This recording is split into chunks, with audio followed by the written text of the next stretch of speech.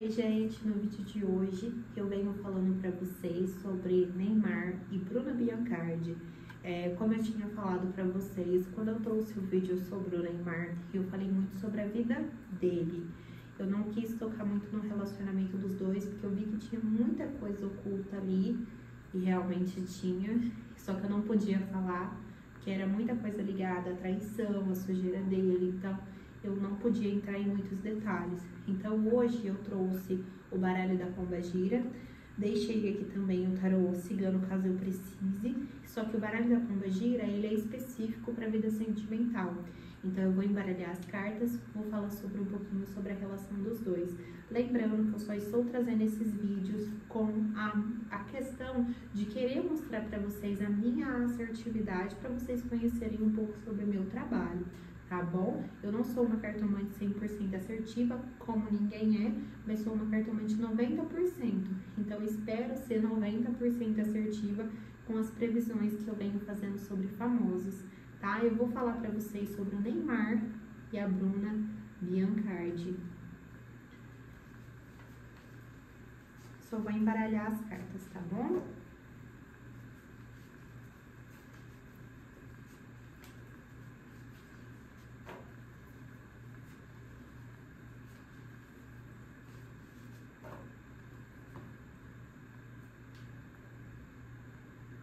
Bom, então vamos começar a ver o que, que as cartas mencionam.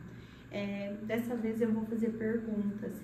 Eu vou perguntar para a leitura se esse relacionamento da Bruna Biancardi e do Neymar tem futuro. Na outra tiragem eu tinha dito que dura no máximo dois anos e que acaba com uma grande polêmica envolvendo traição. Mas eu vou tentar me aprofundar mais para ver que tipo de traição é essa, tá? Aqui me deu a carta das traições, Aqui me deu a carta das moedas e riqueza. Aqui me deu a carta pela porta da rua fora de casa. A carta do grande amor. A carta da boa sorte. E aqui me deu a carta das virtudes e sabedoria. Esse relacionamento, esse ano, eles terão uma separação. Porque a carta pela porta da rua, ela simboliza um término só que eu vejo o retorno de novo na carta do grande amor, que menciona o laço dos dois ainda se mantendo conectados. Como o jogo ele já iniciou com a traição, infelizmente, ele vai chegar a errar algumas vezes com ela. Eu vou repetir a mesma coisa que eu falei no outro vídeo. Ele amadureceu um pouco e ele se aquietou um pouco em relação às traições. Mudar definitivamente ele não vai mudar nesse relacionamento com essa moça. O que, que é o amadurecimento que eu disse quando a gente jogou aquele dia? É de uma pessoa que tá começando a perceber que, tipo assim, poxa, eu tô num relacionamento, eu tenho que dar uma amadurecida. Tanto é que ele depois assumiu um relacionamento com ela, né, lá de trás. Depois de um tempão que ele decidiu assumir. Quando ele assumiu um relacionamento com ela, foi onde ele teve aquela percepção que ele tem que amadurecer, que ele tem que mudar, só que mudar ele não muda, mas ele se aquietou, ele deu uma sossegada. Então essas traições que vieram à tona são traições de coisas que já aconteceu, mas que ele tá tentando mostrar nesse momento que ele tá maduro, que ele tá diferente. Só que o que, que acaba acontecendo? Se ele fica rebatendo essas críticas, ele pode acabar se tornando novamente aquele moleque que ele já foi entendeu? Tanto é que por que que hoje existe pessoas que estão defendendo ele? Porque viu que ele teve uma evolução.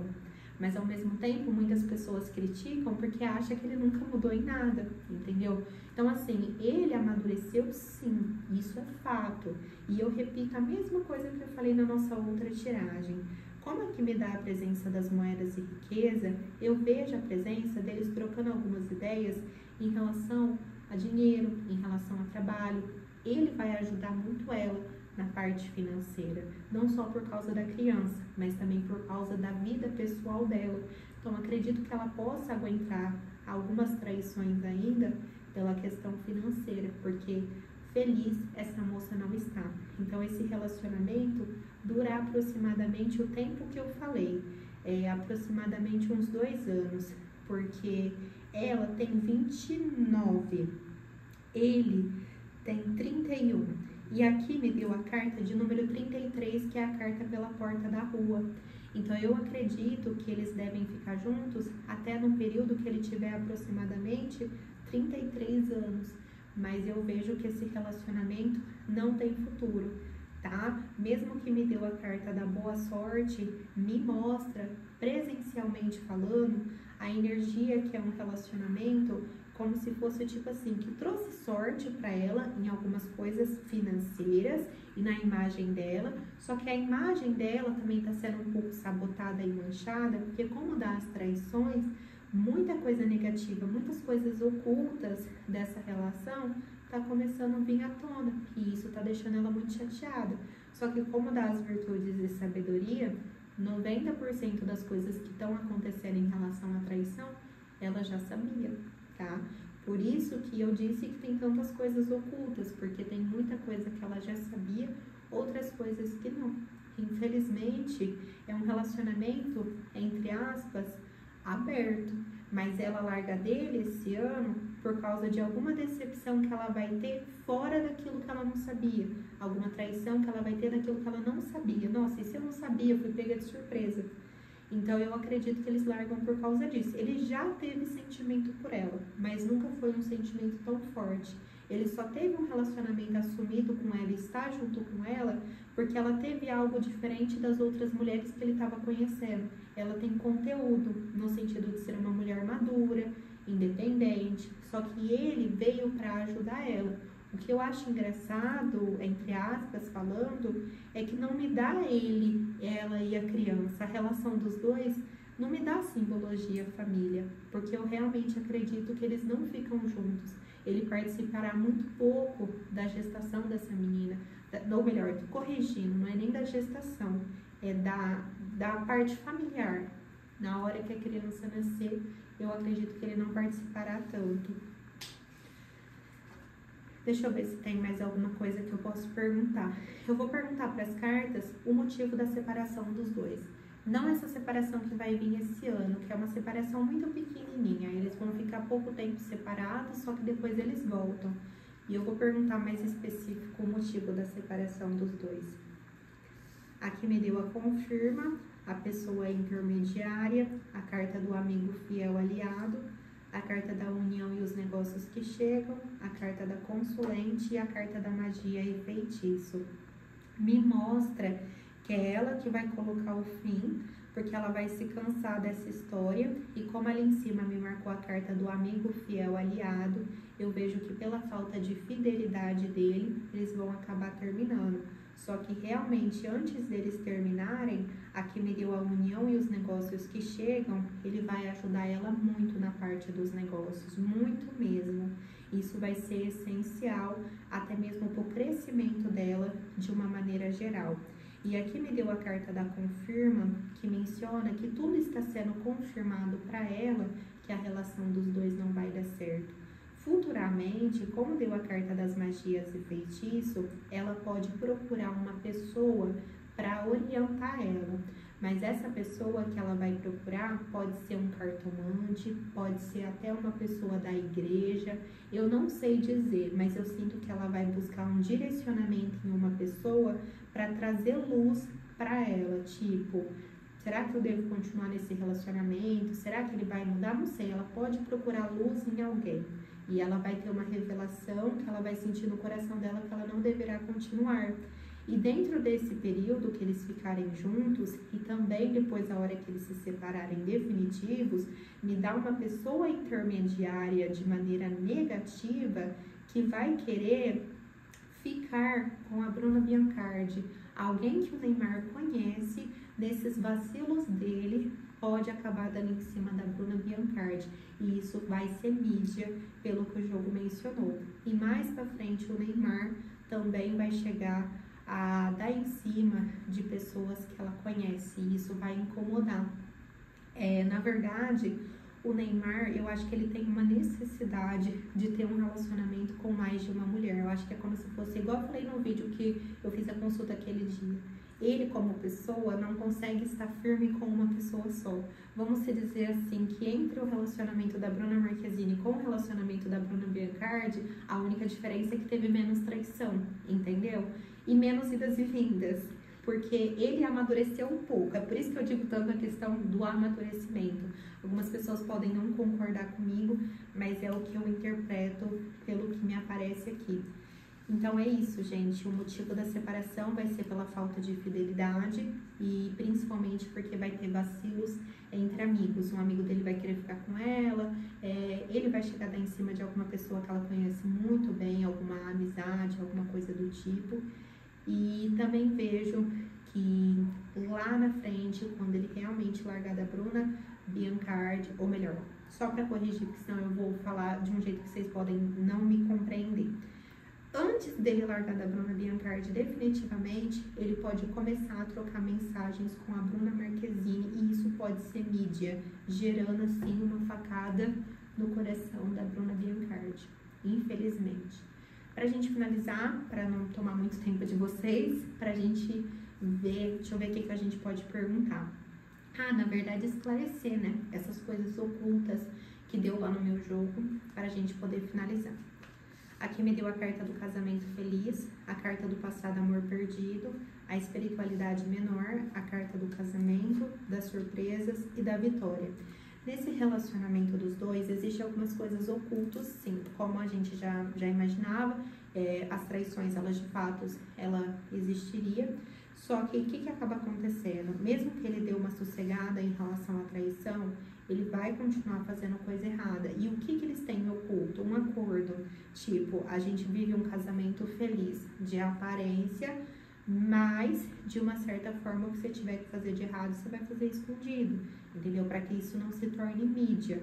E ela vai querer levar esse casamento dessa forma por, por honrar a família, no sentido de tipo assim, minha família tem que ver que eu tô feliz.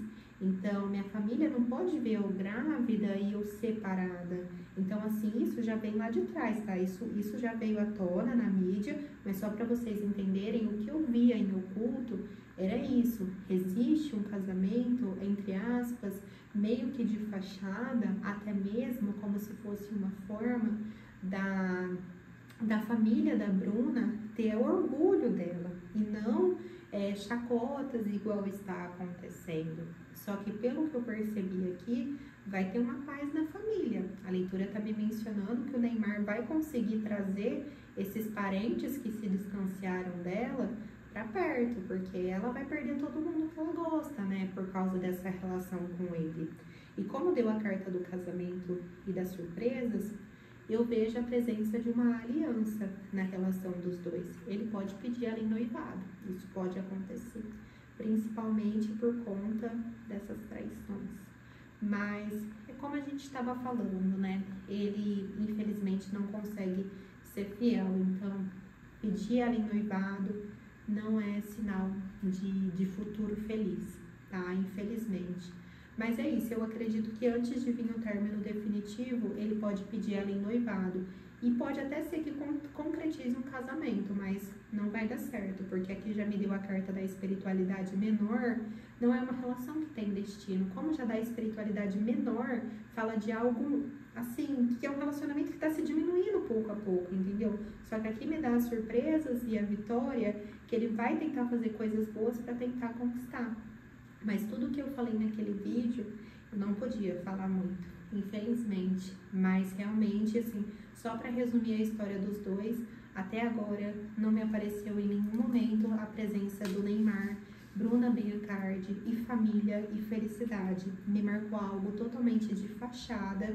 Ela tá tentando investir para que isso dê certo, mas nesse relacionamento não existe mais amor. A hora que ele queria terminar, ela arrumou o filho. Não sei se ela arrumou por vontade própria ou aconteceu, eu prefiro não entrar em assuntos como esses, porque não tem necessidade a gente expor a vida de uma pessoa desse jeito, mas eu vejo que as crianças segurou um pouco ele, e a criança trouxe um amadurecimento para ele, trouxe também um amadurecimento para ele lá atrás, quando ele assumiu o relacionamento com ela, e a gente tem que colocar na balança se ela, vamos dizer assim, se eles estão juntos, filho não segura criança, ou melhor, filho não segura pai.